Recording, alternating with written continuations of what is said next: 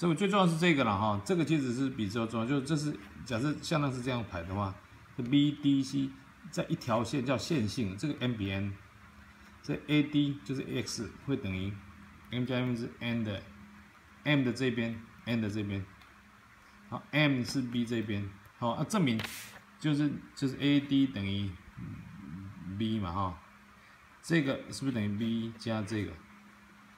？b 加 cb 嘛，啊 cb 是不是等于 cb 的几倍？m 加 m 倍嘛，啊整理整理整理整理就相一消消一消就这个，这是向量的线性公式。啊我们这个做这个对了，这是我们设错了。你我们以前是设这个是 m 这边是 t 嘛，那现在这个 t 知道了，我们就设这里是 t 啊。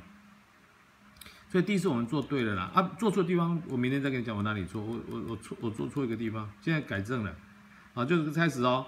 就是 B 一等于多少？是二分之一的 BD。那 BD 等于多少？是不是这一比一嘛？所以是这个这个，所以这个一下就出来了。啊，现在就是因为你这个 T 要设，这个不知道。啊，这个 M 要设，所以它是两个设在一起哈，设法不太一样哈。所以现在 B 一等于多少？就这个加这个嘛，这是 A 加 M 倍的 M 是分数哦。这这个 A F，好，假设这个叫做 A F 好了，这个叫 F，A F 哈是里面最难的，它是等于 T 倍的这个 v 减 A，啊，这个叫 v 减 A 嘛哈，这个这个向量是不是叫 v 减 A，对不对？它是 T 倍的 v 减 A 加一减 T 倍的 A 负 A，你看，因为我们是这个叫 A 嘛，所以这边叫负 A 嘛。整理的结果就是刚刚出来的这个嘛，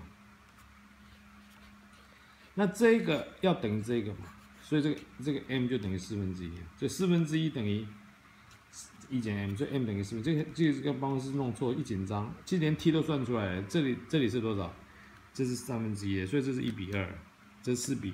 所以这个如果要问的话，这是一比二，这是四比，哎，这这个是呃，一个是这三比一啊。